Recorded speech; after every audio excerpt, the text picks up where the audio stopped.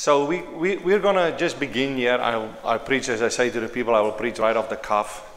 And uh, you will probably hear things a little bit different. I'm not going to tell you really how a leader, in a sense, I will tell you how a leader look like, but I want to tell you how to function as a leader, how to begin to receive from Jesus, and that you can make an impact in the world. We have tried too long in our own strength and our own ability up to this day and it's time that Jesus being manifesting through us. There's one thing you, we, all of us that is here today, we do have the presence of Jesus in us. Do you agree with me? If you are born again, you receive the presence of Jesus, you receive the fullness of Jesus Christ in you. But the difference is that is the manifestation of His presence in your life. Don't you guys agree with me on that? And uh, this is what we will con- concentrate on that you come to the place that Jesus manifests in your life and through your life and touch people's lives. That's, that's what's going to change the world. People, uh, uh, we, have, we have done church now for 24 years, me and my wife, uh, that we are in ministry and uh, serve and plant churches and minister to people. We have seen it all. We have experienced it all. We have been in places, there is not a move of God that people can say that we have not experienced, have seen. We have seen the flesh. We have seen flesh in our own lives. we, have, we have made mistakes, huge mistakes. Um, we are not perfect. There's not one person in the kingdom of God that is perfect. I can guarantee you that. Uh, the only person that is perfect, his name is Jesus. I remember that. Um, I remember that when I, uh, the first church that I pastored in South Africa, we had a huge band, music team, and uh, I was very young. I came out of a militaristic background. So everything had to be in straight lines and everything had to work in order. and uh, so the, the, music team had complications among them. There was no unity, but they didn't want me to allow, allow me to get in to uh, deal with the, the problems there. So one Sunday morning, I just fired them from the pulpit. All of them.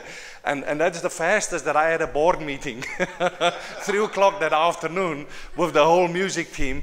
And uh, I, I, was just fed up all, all the stuff, but, I, but irresponsible, young, dumb, don't know how to deal with things. So I just took it in my own hands and I basically messed it up big time in one, in five minutes. And uh, we had a board meeting that afternoon and, and I put on the full armor of God.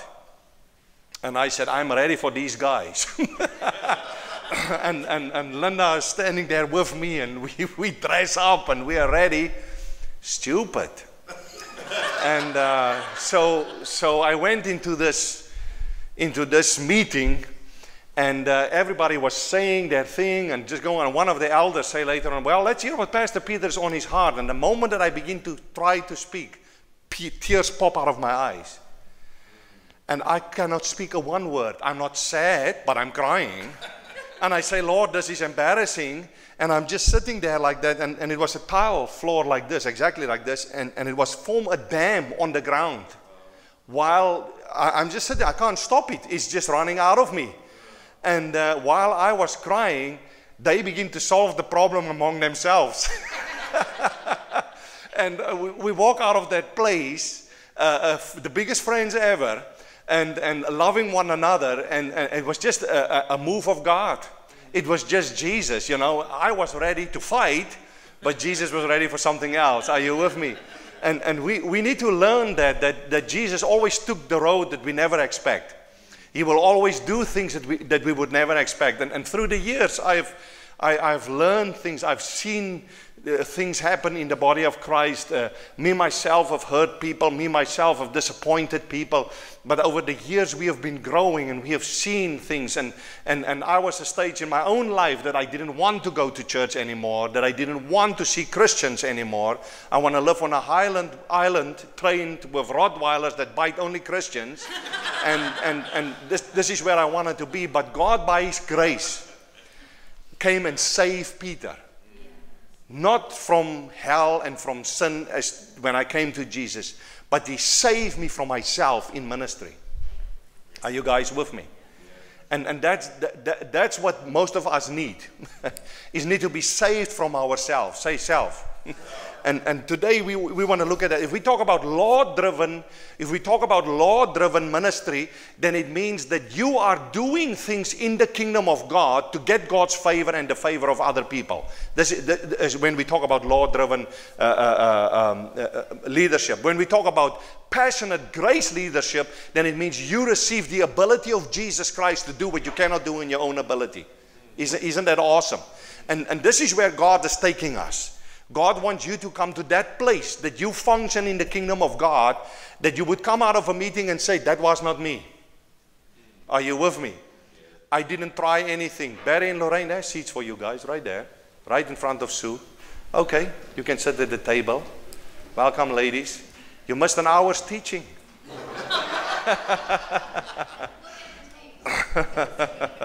no problem. Amen. So, so if, we, if we talk about uh, uh, passionate grace leadership, then it means we are in a position that we receive from God. Say, receive. You got to understand what I'm saying to you right now, which is really important. Anything that we do in the kingdom of God is what you have received from God. Are you with me? The new covenant is built on this principle those who receive the abundance of grace and the gift of righteousness, they will reign in life through the one Jesus Christ. Say, receive. receive. Everything is about receive. There is no other way that you can do this. It's about receiving from Jesus. Are you with me? And God wants, we, we, we will talk about the overflow principle in, in a while. Uh, in just, I want to read to you something that Andrew Friesen posted this week on Facebook. Some of you don't know Andrew Friesen. Andrew Friesen was here last year in our conference. He is from uh, Colombia. He's actually from Winnipeg, Canada, but he's a missionary to, to uh, Colombia, him and his wife. And this is what he say. It is impossible to understand things without contrast. For example, we understand light because there is darkness. In order to understand the gospel, there must be contrast. Some say the contrast is sin versus salvation, heaven versus, versus hell, sickness versus health, etc. These concepts are true, however, there is something more radical. It is the contrast of law versus grace or human effort versus what God has done on the cross for us in Jesus Christ. Isn't that awesome? So, so this is where we are. We have been saved from hell. Hallelujah. Isn't that true? We have been saved from sin, hell. But the thing is that we need to, to learn is that we need to get away from this thing that we try to do it in our own strength. Hallelujah. It's all going to depend on how much time you spend with Jesus. Yes, the point is, can you really enter in? Can you really receive in His presence? Can you really, do you really know what it means to be, to be hugged by God, to be filled with His love? Do, you, do you really receive that? Or are you trying to do this thing in your own steam, and your own ability? Amen? Isn't that awesome? I went, uh, I'm telling you a lot of stories, but I went once to, to uh, Brazil some years ago, three, four years ago. I went to Brazil, and, and this is what happened. I, uh, uh I, I worked for a month doing renovations on my home, and the day when I get on the plane, I think I still had my tool belt on. because of all the work that I've done. And I was just tired. And I said, Lord, 14 days in Brazil, I'm going to preach in conferences. I just don't have the strength. I don't have the power. I didn't even prepare what, what I'm going to do, you know. And um, the Lord said to me, Well, you've got 13 hours on the plane now. to spend time with me. And you know what? I begin to meditate on Christ in me, the hope of glory, for 13 hours. Can you believe that? The Holy Spirit just came on me. When we came into Brazil, the first night that we preached, the interpreter was the worst interpreter I ever had in my life. It was like it was like I speaking to that wall, and then the pen that wall would say something to the audience. It was he didn't understand some of the words. He struggled to break through to the people. It, it was just I just say later on to the Lord, Lord, this is ridiculous. I don't even know why I'm doing this. You know. So when we came to the end of the preaching, I begin to. Um, uh, uh, when we came to the, I, I began to just pray in the spirit and say, Lord, what do you want to do? He said, make an altar call for healing. I said, uh, okay, all right. Here's the reality. I don't even think they hear the sermon. So, but I'm going to make the altar call. So I make the altar call, and we had 40 confirmed healings in that night. One after the other. Even miraculous things happened. The second night, 70 confirmed healings. Miraculous things, one after the other. It was just God doing an awesome thing. You know why? It is God, it's not us. Hmm. Are you with me? I've, I've been in situations that, that, that, that it was the most difficult situations that, that I thought, okay, yes, yes, no anointing, yes, no presence, that God just begin to move. Hmm. Are you with me? So it's not about us. Say it's not about me. So let's look first at the yucky things. Say yucky things. Can we do that? And then we get that behind us when we have dealt with the yucky things. Because I want to, I just want to picture you, uh, give you a little bit of the picture of the church. Can I do that? And by that, I'm not judging. I want you to understand that. I'm, I'm, I'm, I'm always saying to people, you need to understand where we are, what we deal with, and where we are. Can, can we do that? So, number one, the church, we, we have to lay a sure foundation if the foundation is not sure and strong, it is not a matter, a matter of if the house will fall. It is a matter of when the house will fall. Are you with me? Yeah. So we need to lay a strong foundation. Say strong foundation. A sure foundation in Jesus Christ. If you turn with me in your Bibles in 1 Corinthians 3, verse 9 to 11, I want to read that to you. Are you there? I'm there already. Listen to what Paul say here. I love what Paul do. Uh, many people don't understand the message of grace. I, I've seen many people come to my meetings and they listen to one of my sermons and they say this guy is way out and but you, you, can't explain grace in one sermon. It's impossible. You just can't do it. Are you guys with me? You got you got to preach it and, and, and explain it to people right? Uh, 1 corinthians 3 verse 9 to 11 says for we are god's fellow workers. You are god's field. You are god's building according to the grace of god. Say the grace of god. Which was given to me as a wise master builder I have laid the foundation. Say wisdom. We're going to look at wisdom too today. Like, uh, like a wise master builder, I've laid the foundation and another builds on, builds on it. But let each one take heed how we built on it. For no other foundation can be laid than that which is laid, which is Jesus Christ. Amen. So here's the question I want to ask you now is, if the foundation is Jesus Christ, how does that foundation look like? Uh, we need to start that. If the foundation is Jesus Christ in the church, we will say, okay, Jesus is the rock, it's solid, I stand on it. No. Can I tell you what Paul is saying here? If you study 1 Corinthians chapter 1 and 2, Paul is saying to you that the foundation is the finished work of Jesus Christ. Say finished work. Everything is done right now in the Spirit. I want to say to you, right now in the Spirit, there is already healing. There is already forgiveness. There is righteousness. There is provision. All things has been provided for in Christ Jesus right now. Are you with me? The church, here's what I want to say to you. It's not that God is going to bring a move. Oh, we pray for a move. No, there's not a move. You are the move. Say, I'm the move. See, we, see, people say, bring a move. We're going to pray. We're going to intercede. We're going to fast till a move come. No, I'm not going to join in with you. You can go on that hunger strike. I'm not going to join you. Don't understand me wrong. I fast. I do fast and pray. It's very hard, but I uh, because I like to eat. Uh, if, if I fast and pray the second day, I see really barbecue chickens fly and, and stuff like that. I, I, I, I, I can smell a steak five miles away. It's, it's just me. I love to eat. Uh, and I do fast and pray, but I fast and pray to hear God's voice, to be sensitive to His voice. I don't fast and pray to get anything from God because we already got it. The finished work of Jesus means that on the cross, Jesus have dealt with everything through his resurrection. When he's seated on the Father, uh, when right now, everything right now, the church got to understand that everything that we need to make an impact in our families, communities, our cities, it's right there in the Spirit. The problem that we have is we struggle to bridge it from the spirit to the natural. I can teach you many faith cliches and confessions and many kind of things of that. I can do that if I want to. I'm telling you right now, to bridge it is a different picture that you need to get of who God really is in your life and who He is as a person. Are you with me? Because love, if you understand love, love will begin to will begin to uh, uh, uh, energize, as Pastor Corey bring out that word, will begin to energize faith in you. Are you with me? When you got a picture of Jesus, how awesome He is, and the things that He have done, it begin to energize faith in you because you are the bridge. God is not going to do it without you or me.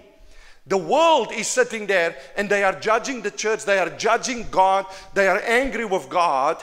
Uh, uh, people have a misconcept of, of church and of God because of teachings over years. And I'm not judging church, don't understand, because I'm as guilty as anybody else. I was there myself. I've te- been teaching garbage from the pulpit, te- teachings of mine for 14, 15 years ago. Please don't. If someone bring it to you, throw it in the garbage, burn it, because I've talk, I talk nonsense. Really, I don't know what I was busy with. Really, Jesus just put His grace on me. Let Him go on. Somewhere in the future, we will get Him. I'm just joking. So uh, we, we need to bring. So, so the, the more tumultuous, tumultuous. How do you pronounce that word? tumultuous, tumultuous that the environment is that we are working in, the more a sure foundation we need. So you need to understand that the church is a tumultuous problem area. Okay, let me explain it to you. We are not going into the community and get the best people to come and join us. The people that is coming to our church, they are the outcasts of life. They are the dregs of despair. They are the broken, the hurt, the nobodies, the losers.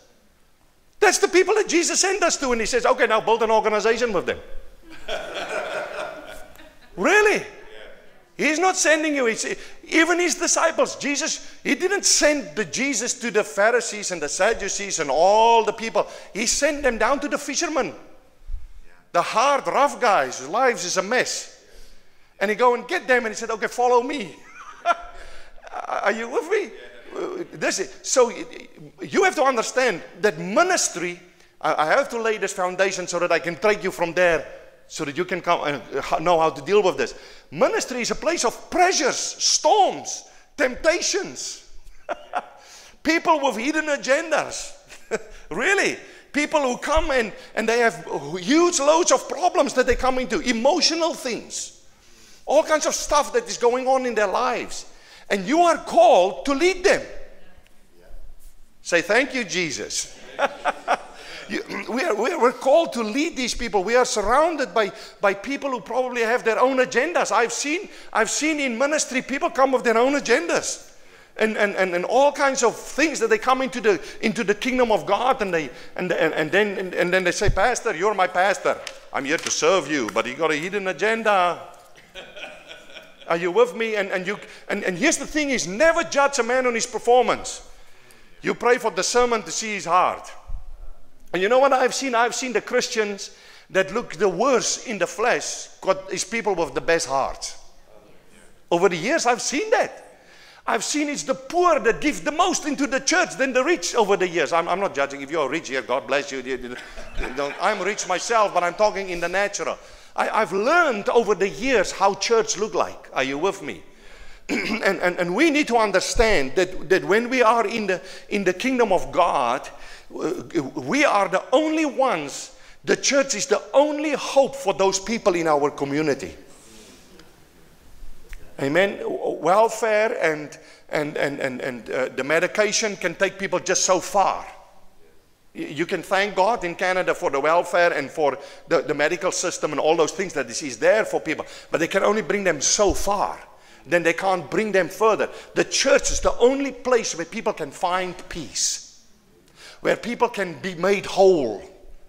Are, are, you with me? There, there's no other place. So we got to change the message. Say the message. We got to change the image of God. We got to bring the true, pure message out that will bring change in lives of people. We can't do it in ourselves. So here's the thing: is what we do is is that um, if you turn with me to 1 Corinthians 1, 26 to 29, I want to read that to you. I got 13 pages to go here, so I hope I hope we're gonna get through this. Um, uh, uh, are you there? Uh, verse 26 says, For you see your calling, brethren, not many wise according to the flesh, not many mighty, not many noble are called. Isn't that amazing? 1 Corinthians chapter 1, 26. But God has chosen the foolish things of this world to put to shame the wise. And God has chosen the weak things of this world to put to shame the things which are mighty. And the base things of this world and the things which are despised, God has chosen. And the things which are not to bring to nothing the things that are that no flesh should glorify in his presence. Huh? Can I tell you something? I was a no good, nobody, loser in the flesh. And Jesus came into my life. Amen. And he, and he, and he just did an amazing thing. I, I mean, I, I go back to that same correctional services that I, that I worked after uh, seven years, no, after, after four years, after Bible study stuff, and then I would say four or five years, we went back into that same community and planted a church there, me and Linda. And, and those guys, some of them don't even recognize me. They say, Oh, Pieter is you. You look different. I, I even change in countenance. Uh, are you with me? Because it's all of Jesus. Amen. When I came to the Lord, uh, 67 prisoners came to the Lord Jesus Christ in a matter of one week. We always would, would, uh, would, uh, would shake their hand at the, at the gate of the prison and say, See you again, because we know they come back. you know? But of that 67 pr- uh, uh, uh prisoners, 90% of them never came back. They, they, they left jail. One of them is a missionary on the bluff in, in Durban. Uh, he had a soup kitchen and he, and he just served people. And you know what? I did not say one word. I couldn't preach the gospel. I didn't know nothing. I just know God so loved the world. That's all that I know. And I'm saved. They asked me, Sir, you changed. What happened to you? I got Jesus. Wow. Are, are you with me? So the countenance of Jesus got to come back. Religion changed your countenance. Religion gives you sour power. You, you, you, you, you, you, look different. I, I look at people that is in religion, their faces look different. Have you seen that? I've, I've seen people that grab onto the, the grace of Jesus and the love of God. Their countenance is different. They're different people. Amen. And, and I want to say to you today is that, that the countenance of the church need to change. And, and, and it's not by how, how you're going to do it, it's about how you believe. If you believe right, you will live right. It's when we believe wrong that we live wrong. Are you guys with me? Amen. Thank you for the enthusiasm. You may sit down now. so, the main error in the church that we have today is we take the wounded and we take the hurting people and we use them to build our dream and our goal. I'm talking from a pastor's perspective now. Are you with me? Yes. This is what we do. Um, it won't last long because they're not stable. Under, they are not dependable. Uh, very few of them are teachable. Um, here's the point that I want to make I cannot use people to build my dream and my vision. All of us are called to build other people's visions and dreams. Can I say it again? People say, oh, this is the vision of this church, this is where we're going. Can I tell you what's the vision of Grace Covenant Ministries? We want to build you, that you discover your place in life, that you live your dream and your destiny. I'm not here to use you. I can't use you, it's impossible. I leave people. They follow or they don't follow. I'm not going to put a demand on them. I keep on preaching the message of grace. If they believe it in their hearts, they're going to go. Are you with me? So, the, the, the, main thing that me and you have to understand is Ephesians 4. How many times we read that scripture? Uh, God gave some to be apostles, prophets, evangelists, teachers, and pastors for the equipping of the saints. Are you with me? We're here to equip you. The body of Christ is there. See, people, see, see, pastors. Can I tell you how pastors function? Pastors function like this. The moment that pastors see one another, it won't be long they would ask, How many members you have? And it won't be long if they say, okay, well, I got just 10 and he got 100, then you, you already classify himself, oh, well, he's small, I'm big. Can I tell you what the success of ministry? Can I tell you what's the success of ministry? The success of ministry is not how many people we have. It's not how many build, how big the building is, how much the income is. Success of, of ministry is how many people do we build? I always ask people, how many of your people are walking in the Spirit, hearing God's voice, functioning in the gifts, and have a true relationship with Jesus Christ? That is success. I can sit with 500 people in the church, and if 10 of them can hear the voice of God, that's all that I really got. Are you guys with me? Yes. There's nothing in this Bible that you cannot do. If Jesus say, "My sheep hear my voice," you can hear His voice. He made a promise that you can hear His voice. Amen? Do you agree with me? So, so here's what we need to do is we need to understand that, that every person that's in the body of Christ, they are there because God has placed them, and all of us is helping that person to get into his destiny and his calling. It doesn't matter what we do with him, if we prophesy over him, encourage him, lay hands on him, teach him, the whole purpose is to bring him to the place that he function in his calling and his destiny that God got for his life. Amen. See, I, I know lots of big churches, but the people are dead. And I'm not judging churches. Don't listen, it's awesome when the church is big. When we preach the truth. Are you with me? It's awesome when, when, when, when we begin to reach out. And that's awesome when it's a big church, but then we got to have the thrust right. How many of the people in that big church can minister to other people? How many in that church have the freedom, say freedom, freedom to flow in their giftings and their callings? Say freedom. Jesus came to set us free, not to bound you to an organization, an organizational structure. Are you with me? There is people that is called to serve the church on a full-time uh, uh, uh, capacity and people who come in on a sunday morning on a sunday evening and get things going and stuff. But the main focus the thrust of the church is that you become that you come to the place and now you have to listen to me carefully that you are whole. Say whole. A whole human being because if you are whole you're going to make an impact on your community without even saying a thing. Yes. are you with me? Yes. isn't that awesome I love that. Oh, I have a dream. I have a dream of the early church when the people were full of the power of the Holy Spirit and everything was about Jesus. Are you with me? And His power.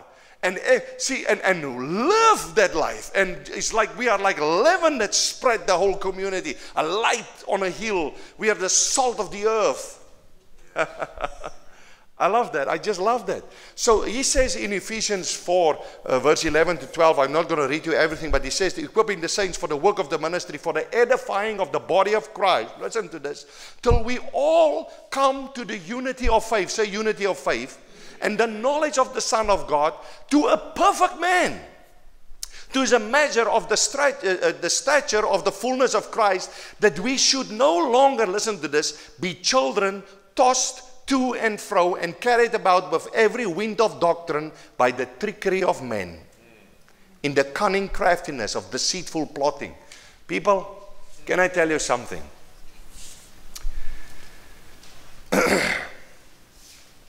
this is very true. This really happened in churches. There is tricks, there is oh, I'm giving you the bad picture of the church. Now we're going to get to the good things. Amen. I'm just Bear with me, all right? Uh, uh, these things are happening in the body of Christ. Amen. But the Bible says that if the fivefold ministry begin to equip the body, we will come to a place of maturity. Amen. And when there, the more mature people are in the body of Christ, these other little jackals, little things that come into the vineyard, is not a problem because we know how to deal with it. Amen we, we begin to just solve those things. Amen. So, um, uh, uh, uh, verse page, page two, I'm here. Amen. Uh, uh, if your dream, say my dream. My dream, my dream is to build people. see, that needs to be your dream. My dream is to build people. My dream is to bring people to maturity. My dream, see, pastors need to get off this thing that we are threatened with other strong people. We, we are insecure. We, we, don't want other people to pass by us spiritually. Are you with me? We, we don't want other people to, to grow beyond us. Don't you think it's awesome when people can grow beyond you? Jesus say, if I'm going away, he says, he says, you will do greater works than me. Amen. Did you think that Barnabas was staying at the level that he was all his life when he was walking with Paul? No, he went on. He, he, he grew into something greater. Paul started off as a teacher, then he was a prophet, and then he ended up as an apostle. Amen. We grow, eh, we grow in thing in the things of God, and we come to a place of maturity. But all those kind of things is for one purpose: is to build people. Amen. Hallelujah. I love that. So pastors, pastors. This is why pastors. I was hurt.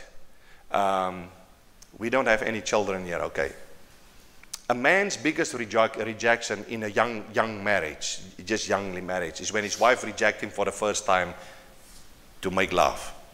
It happens in all families because your wife is not always ready. Listen, we are talking, uh, uh, men, women are emotional beings. You, you got a road that you build it up because Are you with me?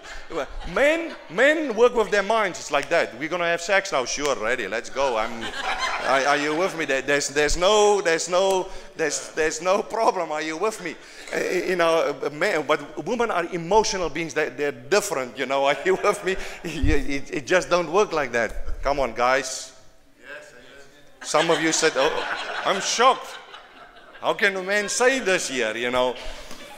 no, and, and you know what? Here's the thing with pastors. Pastors, uh, pastors and leaders, we have people that is in our relationship. It's basically the same as a father, as a husband-wife relationship.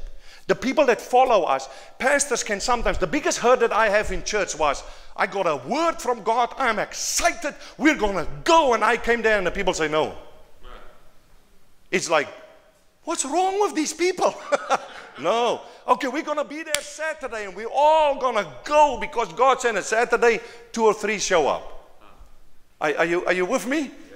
Because the people are not prepared emotionally, spiritually, and they're not being made whole. Are you with me? And, and, and over years in your, in your marriage relationship, you grow through things and you later on realize, okay, if your wife don't want to spare, make love to you, it's not because she don't love you, it's just she's not in the mood, she's not ready, she's not emotionally there. Are you with me? And, and the church, you have to understand that we are not always, the people are not always there with you, you know. What's wrong with this guy? We have teach him, we have tell him everything, we have we have walked this walk with him, and he's still stuck where he is. What's wrong with him? You know, we want to go on. I, I, I, uh, thank you. God bless you. do, do, you understand what I'm saying to you? Some of you, I, I use that illustration. So pastors are many times hurting because, and we become as crippled. This is where I was. I was as crippled as the congregation was. I was insecure as the congregation was because I was, I was using people to build my dream. Are you with me? And I got hurt and disappointed in the people. I said, What's wrong with this? And on the end of the, why are they not supporting me? And one day the Lord spoke to me and Jesus says to me, They're not here to support you. You are here to build them. And it set me free. But I first had to learn the message of grace. I, I, are you with me? But that, by that I'm not. I'm, I, by that I'm not saying that if we, if we begin to to form a church, Grace Covenant Ministries, if we begin to form a church, what we do is we begin to to form a culture. Say a culture. We begin to form a group of people. We begin to connect in relationships. Are you with me? We begin to together form one vision. And it's as you been built up and you have been made whole and you have been made strong in the Lord, you begin to reach other people. Say, reach other people. And, and you begin to build them and you begin to help them. And we become a culture. Are you with me? Say culture. We become a Jesus culture. We be, we, the life of Christ come among us. And we become a different group that is like the light of God, amen, in that area and in that community. So this is, this is where we are going, amen. Praise God. Yes. So, so here's what I want to say to you is that you cannot uh, have grace. I had to learn that I cannot have grace to fulfill my opinion of ministry. I, I only receive grace to fulfill his opinion of ministry. Are you with me? So, so it's not about, okay, more people, let's reach out to get more people, more money in the bank, more this. Uh, uh, then, then it's wrong. Amen? Amen? But if I seek him and I am full of him, people will come automatically, not because not because of a program, not because of a plan, not because uh, people. I'm telling you that I'm so sick of programs. I'm so sick of plans. I'm not so sick of so sick of. Uh, I myself was like, okay, what's the next plan? what's the next thing that we can do to keep the people busy? We are not here to keep you busy. Are you with me? We create an environment where you worship God. Are you with me? And where they build you up. And from there, you go into your family and into your community. And later on, your people are strong and you have a cell group or you are an elder and you, you visit people and you, you preach the gospel to the lost and all that kind of things. Amen? Amen. Is, isn't that what it is all about? It's so awesome. So the church is a rough place. I, have seen demon manifestations in my life. I've had uh, people attack me just before I preach, five minutes before I preach, they attack me because I didn't visit them that week. because they are in the old religious mode. And then I go and preach. I didn't lose the anointing. I preached the most powerful sermon I can ever preach. Are you guys with me? People have all these ideas of of, uh, oh, we're going to lose the anointing if Satan attacked me before the service or someone attacked me or anything. That, oh, I'm, no, that, that's the biggest lie you can ever hear. Amen. It, it, Christ is in us, the hope of glory. Hallelujah. I can't lose him. It was a free gift to receive him. He, he didn't say, I'm going to leave you. he said, In fact, I will never leave you nor forsake you. So you can do what you like. You can't get rid of him. Are you with me? So I said, Jesus, the people attack me right now. How can I preach now? He said, Well, it's easy. I'm in you. Just rely on me. Just depend on me. You know? I've had the, the roughest things in my life. I've, uh, I come from a different place. Are you with me? we, we've seen some rough things, you know, we have experienced some rough things. We have had some stuff going on. And that's nice because it's church and it's God's bride and it's a mess. But hallelujah, we're growing. Amen. There's not one perfect person. I want to read you six, six reasons to love the church today. And I, I posted it from another guy. His name is Ben Reed. Can I read it to you? I posted it on Facebook, but I, I, I need to change it a little bit because here and there he creep a little bit of religion in there. But um, uh, number one, he says the church is messy. He says six reasons why I love the church. Number one, he said the church is messy. That's not my cell phone. he said, number one, he says the local church work isn't neat and tidy ever. Say ever. ever. If it grows clean, that means you are not doing the work of evangelism. or you are disengaged from real ministry. Real ministry with real people who have real problems is a mess. Yeah. Come on now. Yeah. I love that. Say, I love that. Oh, only Pieter. he says, and I have found when people are open and honest with where God has them, the doubts and frustration they are experiencing, and the, and the places where they are most confused, spiritual growth happens in a mighty way. Say open. open. Say honest. Oh man, we got to take off the mask. What you see here is what you get. I'm telling you, I don't have a front. I, what, you, you can live with me and you can come and live in my home. You will see this is me. I'm telling you right now, there's nothing. I, I'm past beyond those things in my life. I don't have to have a front. I don't have to show anybody anything. This is me. I, I, can get upset. Me and Linda can have words. In the early days, we have fights. Now we have words. we, had, we had a rough time in our marriage at one stage, and, and, uh, and I say to her, Okay, I tell you what we do. You take a piece of paper, you write on that piece of paper all the things that you have problems with me, and I will go and write on a piece of paper all the problems that I have with you. She said, No, you don't have, you have to spare you all that. I got one word. Two words, actually. I said, What? Is that all? That all problem that you have with me? Just two words? I, I got a whole list. I, I, I need to, in fact, I have to go and sit and write down. And she write it for me on a piece of paper and she said, Your ministry. That knocked me, man. He said, Your ministry is more important than me. And that just that just touched me. It changed my life that day. Are you with me? And and and now we have words. You know. What's wrong with you today? Nothing. Two days later, oh, I just want to say to you, I was really actually upset about that. I said, two days. I suffer for two days. In the olden days when I was sick, oh, you, I feel so sorry for you. Oh, come, we give you a little bit of night Nytol or something. Now, where's your faith? In the name of Jesus, get out of bed. You know, it's like, she understands faith now. I'm just joking. She's awesome. Number two, he says, it's not a formula. There is no one size fits all system. there is no perfect structure, no ministry without hiccups. Are you with me? I, this one sentence you put here, I'm not going to read. You can learn principles from other churches, but copying doesn't work. What work in one church likely won't work in another. It doesn't work. We can't copy other churches. See, it's very difficult for people to, to function in how we are. It, it takes a long time because we're different.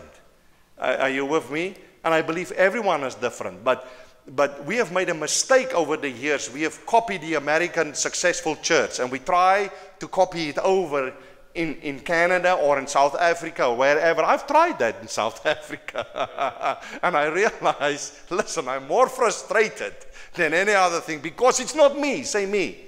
It's just not me. Amen. God got a, God got a, a, a, a plan for you. Woo, what's the time, people? Huh? Huh? Okay. We, we will make a break in 10 minutes and then we will go on till 5 and we will have a nice supper. Amen? Amen. Is that lasagna cooking, brother? Cool. but uh, the third one, it's not a bunch of professionals. Can I say it's not a bunch of professionals?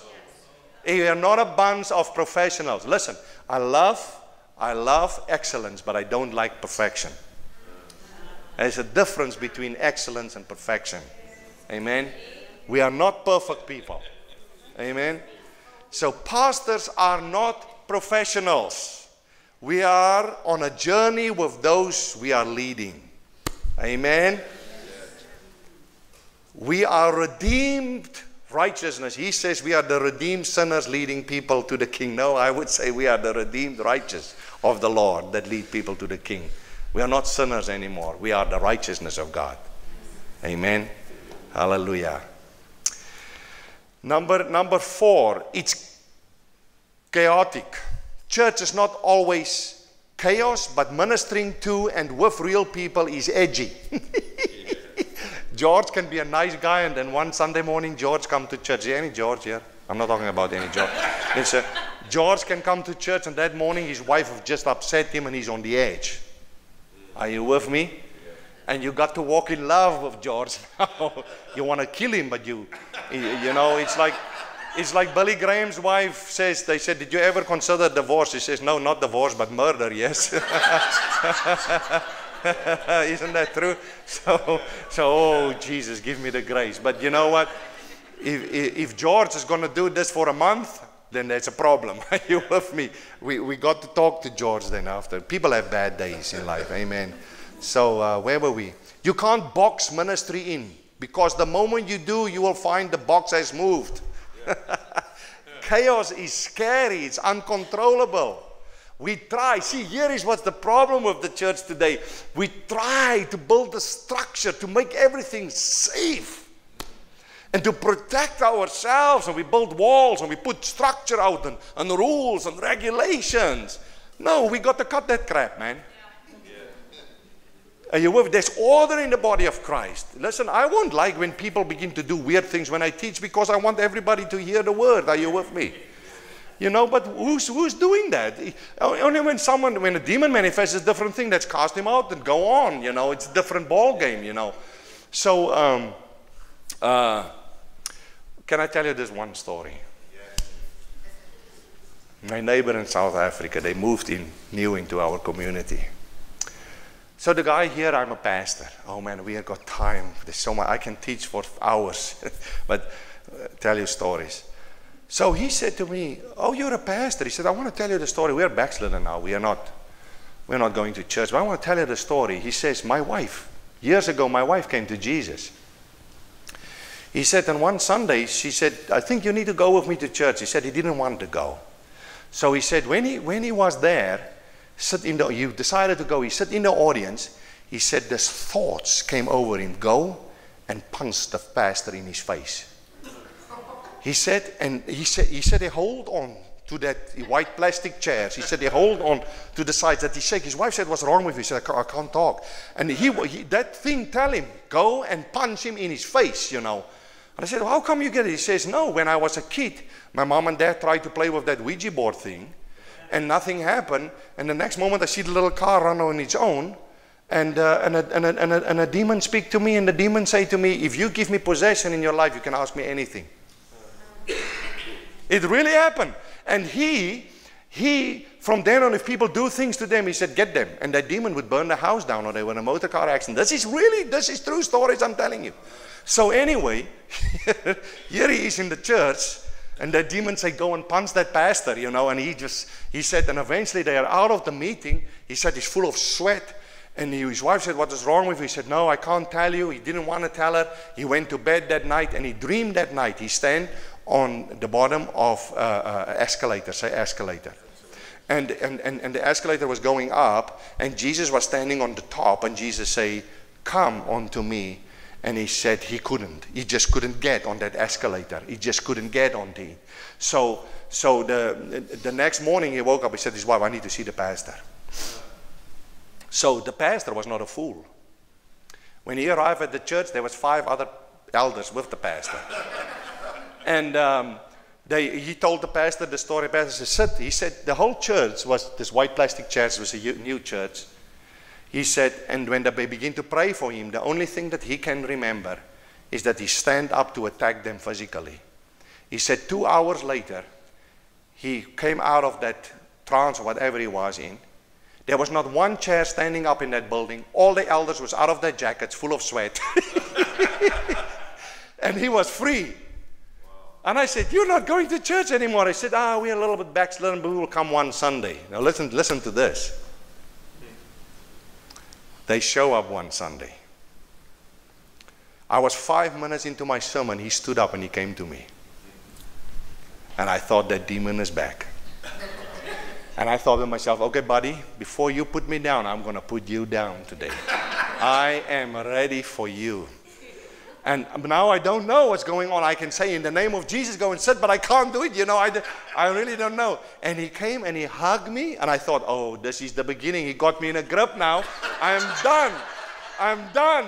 You know, and he hugged me. He said, thank you, Pieter. He turned around and go and sit.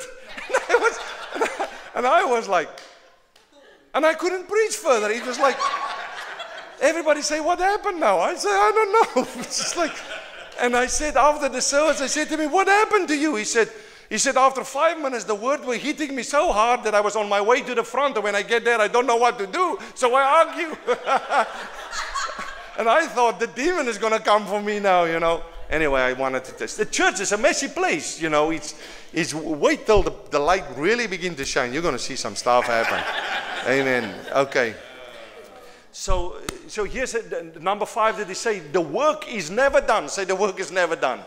The work is never done. Christ died for us. The local, local church is worth the blood of Christ. Oh, sorry, sorry. No matter what you do, who you fix, what system is just perfect, there will always be more work to do. And I love that, the guy say. There are challenges everywhere you look, and everybody is at work in progress, pastors included. Sunday is always coming. Completion is boring. Come on, isn't it true? Number six, we are the bride of Christ. Hallelujah. Christ died for us. The local church was worth the blood of Christ. The local church, that messy, chaotic, unprofessional, constant, needing, fixed, uncontrollable, beautiful bride, is worth every ounce of effort I can give, he says. The bride of Christ is not boring. But we are not in an effort, say effort. This guy is a little bit religious. We receive from Jesus. Amen. And we minister to people. Amen. So, let's stand up and take a break for five minutes and then we do the next session and then we have supper. Did that mean anything to you so far?